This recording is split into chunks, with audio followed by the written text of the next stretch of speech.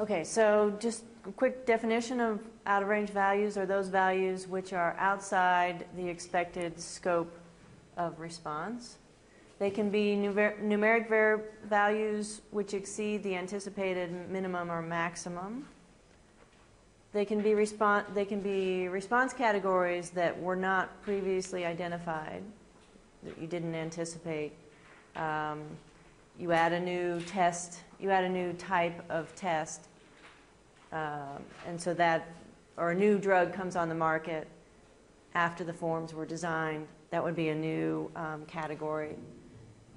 Um,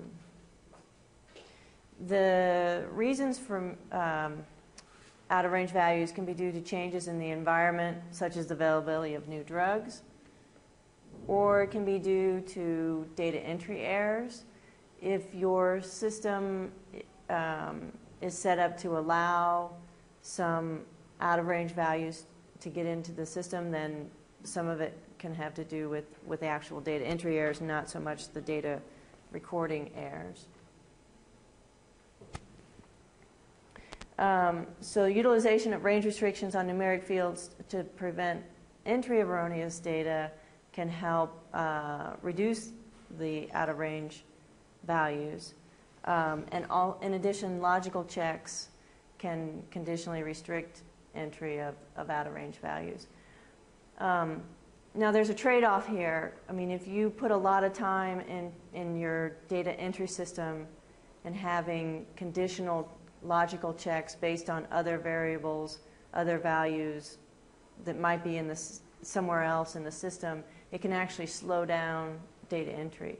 So you need to make choices about how much um, how much checking you want to do at the point of data entry and how much you want to do uh, post hoc.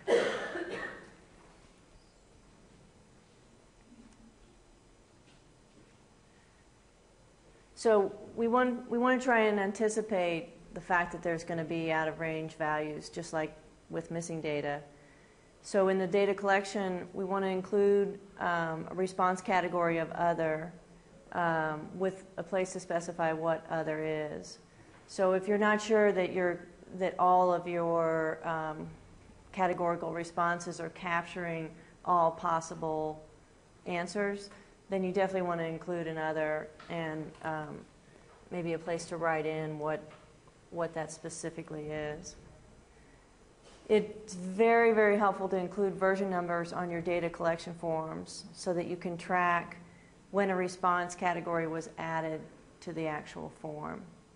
So if, if you have a new medication come on the market and people and you haven't updated the forms yet, and people start checking other and writing in what that new medication is, then hopefully you can get the data entry system set up so that it'll actually create a new category for that system.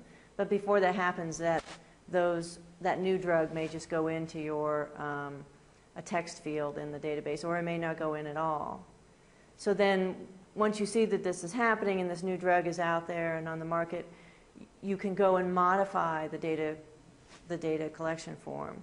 But you want to be sure to you know to note when that modification took place, so that um, and that new medication got added to the form, so that you know when that was speci- a specific response and when it stopped being written in as other, or maybe not being written in at all, um, and and when it when it was a, a specific response to that item. So version control of your um, data collection forms is very important. Version control with and, and knowing the date that that new version went was created and went into the went into use. And here in AMPATH we have a we have a problem because um, sometimes we get a new version of the form and it only gets just and it gets distributed to different sites at different times or it gets distributed to sites and they continue to use up the old version of their forms before they start using the new version. So in addition to just when, you know, when the form was finalized, you also need to maintain information about when that form was actually when they actually started to use that form at the sites. Okay? At your clinic sites. So with respect to data, um, data entry, I've, as I've already said, you can utilize range restrictions on numeric fields to prevent entry of erroneous data. Um, and you can tag those out of range values. Now, there's, I don't know if Ada talked about this when you guys were working on InfoPath, but there's a lot of different ways to manage um, values that are out of range. Um, and I think the way to think about it is an absolute range. Specifically thinking about lab values, this comes up a lot uh, with lab values. So something like CD4%, as I said the other day, can only be 0 to 100. There's no reason to allow anybody to enter a value greater than 100. Even if it appears on the form, it's not a valid, it's not a valid value. So if, it, if someone accidentally writes 105 on the form, that form should be tagged and sent back to the clinician who filled out the form for clarification, right? But there are lab values that have normal ranges and, and you know, questionable data outside uh, the normal range. For example, hemoglobin. You don't expect hemoglobin to go up, up above 50. I mean, even, you know, 50 is pretty high. Um, so what you could do in the data entry system is you could, instead of putting absolute restrictions on that, on the range of hemoglobin, because very sick people might have a very high hemoglobin or very low hemoglobin or very low hemoglobin. Or white blood cell count's another one. I mean, if you're sick, you could have a very high white blood cell count, you know, out of the normal range. So what, what would be ideal is if you could set up in the, in the data entry system an alert or that, but that pops up. So if the data entry clerk keys in a number that's outside the normal range for that particular lab value, and, and our normal range may not be what the lab says is normal. I mean, it may be, you may have to extend it a little bit because you do see a lot of values low say, you know, this is really questionable so that, that forces the data entry clerk to confirm that they've typed in the number right. Okay, so it's just an alert to the data entry clerk, you know, please, this, this number is unexpected, please double check. And they can double check and see, yes, that's actually the value that's written here. And then they can go ahead and allow entry of that value, but it's, all, but it's an intermediate check that, that says, um, that gives the data entry clerk a second chance to confirm what they've entered is correct. Um, this um, maybe an easier example is to think about weights for children, and then this would be a conditional. This would be a conditional check. You know that you wouldn't expect any baby under the age of two to, to weigh more than 15 kilos, right? So you could definitely put a check in there that says, you know, that this weight doesn't agree with this with this calculated age for this particular patient. So that then also forces the data entry clerk to look at the date of birth. Did I enter the date of birth right? I, so, so that it's calculating the right age, and also re-examine the information they're, they're trying to put in for the, for the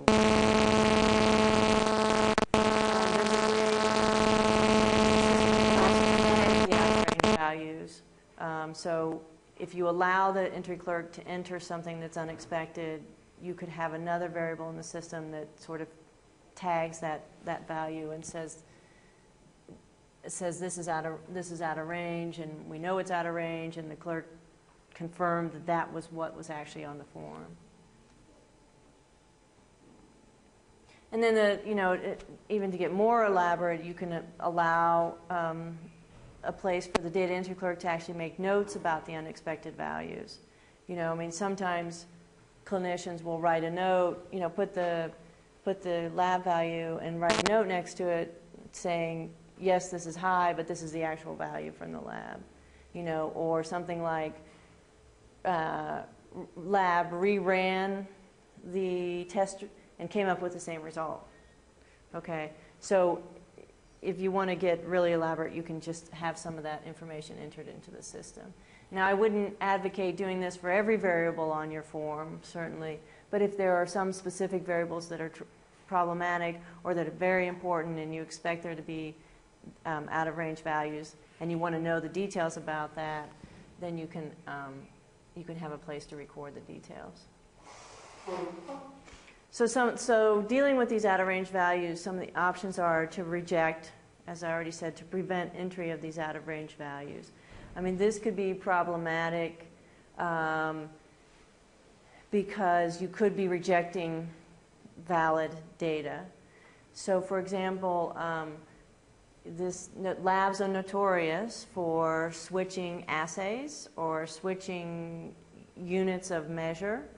So, if you have a lab that's you know constantly reporting in one unit of measure, and all of a sudden they they they get a new machine or they get a new assay, and they're reporting in another uh, unit of measure that it's 10 times greater, you know, than the, than the previous unit of measure, then all of your values would, would appear to be out of, out of range, and none of that data would get entered.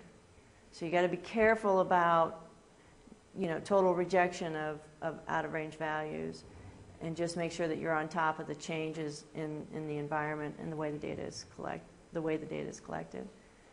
You can accept the out of range values unconditionally and allow entry even though you know the value is wrong. Uh, you know, you can let somebody enter 56 kilos for a, a, newborn, you know, and just take it when it maybe should be 5.6 and just accept the 56 and deal with it later uh, with cleanup queries. You can accept the value conditionally, so allow the, the entry to be made, but mark another indicator variable or something that, that says, we know this is out of range, but we're, we're entering it anyway. And then you can also, um, some variables in themselves to, to correcting the out of range value. So converting an out of range value um, either to the, or converting it to the upper or lower limit. And a lot of lab values you have lower limits um, that, you, uh, that, that are undetectable below a certain amount. So when you get a note on there that says undetectable or less than 0.1, you can actually enter 0.1. And as long as it's known that, that 0.1 means, really means less than 0.1, um, or that the undetectable, for un, something undetectable, you enter the lowest value, then that's an option as well. Although um, I recommend if, if lab values are going to come back with a greater than or less than sign, that, that you should have a, a second qualitative variable for that lab value that holds the, um, the greater than or less than sign. So in addition to the, to the numeric value of that lab result, you have a separate field that would hold a less than or greater than sign if it appeared on the, on the on the summary page, on the results page from the lab. So this really, so this upper and lower bound value is when you see something like undetectable. So a viral load, load is undetectable. A lot of people enter the lower limit of the assay, which is either 50 or 400, depending on which assay you're using, typically.